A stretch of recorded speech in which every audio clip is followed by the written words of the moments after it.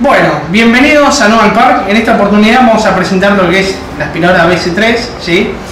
Pero vamos a hablar específicamente de la válvula que tiene la aspiradora acá, ¿sí? Que esta válvula va a empezar a tirar el aire cuando está obstruido, por ejemplo en este caso, la manguera, ¿sí? O, como hicimos en otro video, la parte interna que puede ser acá adentro, acá sacamos la manguera, ahora sacamos el depósito y puede ser que también esté obstruido acá, ¿sí? Que es donde entra, acá tiene como un chanfle que sale, ¿sí? Y entra acá. Puede ser que esté obstruido. Eso, eso que pasa, lo que va a pasar es que la máquina te va a avisar, ¿sí? Primeramente se calza bien, eso hay que gatillar acá y soltamos y ahí la máquina queda agarrada, ¿sí? Lo que la máquina te va a avisar con esta válvula es que está tapado, principalmente. Manguera. Hace un ruido diferente, ¿no? Exactamente, hace otro ruido, un ruido más finito, ustedes se van a dar cuenta, siempre es principal que la máquina cuando la usen eh, tengan oído, ¿sí? que el oído es lo principal en una máquina, ya sea hidrolavadora, aspiradora, es lo principal porque es lo que le da, se va a dar, a dar, a dar cuenta enseguida de que algo está funcionando mal. ¿sí? Y vos contabas del codo, que ese puede ser uno de los motivos por el cual puede, estar tapado. Contame de la manguera. Mira, la manguera es muy simple. Uno cuando está aspirando en la casa, si uno tiene chicos o lo que sea, puede aspirar cualquier cosa que lo que hace es que se obstruya. En muchos casos, como yo lo veo en Noval Park, es que aspiran eh, mucho polvillo, más que polvillo es eh, pelos, cosas así que se obstruyen acá adentro y lo que les va a pasar es que van a tocar y no va a aspirar o va a aspirar muy poco, ¿sí? En ese caso lo que consejo que les puedo dar a la gente que lo está viendo es que saquen la manguera, ¿sí? pongan de punta a punta, agarren una manguera de jardín, obviamente desconectada todo, y manden por adentro para que, principalmente por acá, que me, empiecen a mandar la manguera, para que salga el otro extremo que es más grande y salga toda la basura o lo que haya agarrado la manguera. ¿sí? Perfecto, Eso principal. Y lo otro que les dije, bueno, por favor abrir acá también, revisar que en la parte de acá adentro, que está el codito, no haya mugre. ¿sí? Y contame también, eh, la gente a veces arma mal el sistema de, mm, ¿cómo se llama? De la BC3 del tacho, ¿no? Lo arma mal. Exactamente. Lo, Agustín Rey de Karcher que lo armaba mal. Exactamente. ¿cómo, ¿Cómo lo armaría mal o cómo va armado correctamente? Mira, lo principal es que acá tenemos que está bloqueado y desbloqueado. ¿sí? Eso principal. Acá tenemos una línea blanca que nos va a indicar en qué posición está. Acá está desbloqueado, ¿sí? Perfecto. Y lo que tienen que tener cuidado siempre es colocarlo bien, que no quede así suelto. Venga acá, tiene una rebaba todavía. Esto tiene que buscar la posición, calzar para luego girar a la posición correcta, ¿sí? Y la gente también a veces lo, destapa por acá. Exactamente, eso, no, eso es un error. Por acá, perdón. Tienen que tirar por adelante y ahí se va a desbloquear el sistema. Claro. Que lo que va a hacer es muy simple en realidad. Esto supongamos que esté ya conectado, primeramente hay que buscar cómo se calza, ¿sí? Tiene que buscar la posición correcta.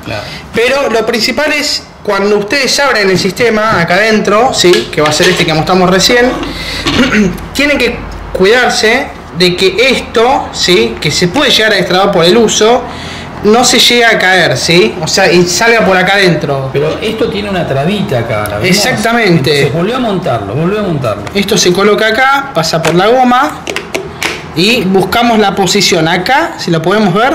Y ahí hace trabó. Exactamente. Y no sale. Y no sale. no sale. En cambio la gente lo deja así, agarra este juego. Claro, exactamente. Tiene que quedar trabado y ahí queda. Y a ver, saquemos la otra pieza también. Acá lo sacamos, ¿Eh? ¿sí? Y lo que pueden hacer es limpiarlo abajo con agua, esto está permitido porque es plástico. Claro, Limpian esas dos piezas. Ahora volvemos a montarlo para que la gente entienda. Volvemos a colocarlo, calzamos ahí, tiene que pasar ese plastiquito. Tenemos que escuchar, escuchen esto. ¿Lo ah, escucharon? Clac, perfecto. Ahí trabó, ¿sí? Perfecto, y ahí. Ahí calzó, tiene que calzar porque ahora vamos a colocar la otra parte, ¿sí? Vale, mostrame bien cómo va lo otro. Calzamos acá buscamos la posición correcta, ahí hizo clac y ahí trabamos. y ahí queda, ¿sí? Lo principal de esto... ¿Qué pasa si se cae eso? ¿Qué pasa si se cae esto? Esto cuando se coloca, que entra acá el depósito, ¿sí? Esto principalmente es para que haga el juego ciclónico acá, ¿sí? Ah, perfecto. Hace juego ciclónico, es como una protección que tiene para que no se vaya para abajo también. Y lo ciclónico entre y después salga, obviamente por el filtro por acá, y después entra acá adentro. ¿Sí? Que después es a donde va a ir, que va a retener las partículas, el filtro EPA que tenemos acá, que también vamos a mostrar cómo se abre. Tiene una posición, Siempre esta posición es donde hay que montarlo. Acá en el Exacto. tacho, que todavía no lo terminamos de armar, mira, mostrame el tacho.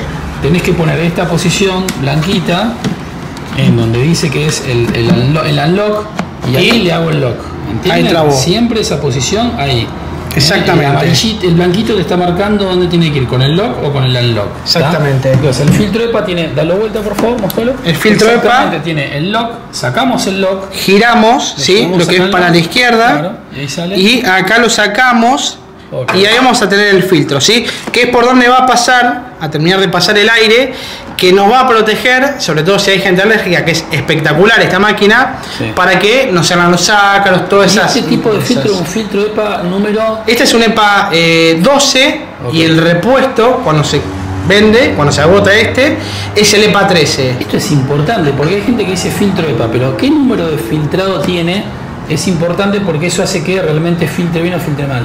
Entiendo que creo que llegan hasta el 14 o el 15, una cosa así, la nomenclatura o, el número que llegan, la, la capacidad de filtros EPA, que en Karcher dijimos hoy que está la 30 barra 1, que creo que ese filtro EPA 14, que ya es lo máximo que pueda haber, por eso también es caro ese filtro, en este caso es un poco más económico, porque es línea hogar, pero bueno, para que tengan en cuenta que los filtros EPA tienen también numeraciones que dan mayor o menor capacidad de, de filtrado del mismo. Exactamente.